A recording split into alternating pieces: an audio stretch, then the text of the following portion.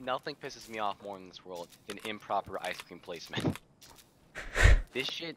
it- listen, if you don't put the fucking scoop halfway in and then mount that shit onto the next one, you don't just fucking place it there. You place that shit there. You know what happens? Broken dreams and sadness. You fucking assholes. Those people, man. I, I wouldn't be surprised they hit their wives. They're so fucking inadequate. God damn. Fuck.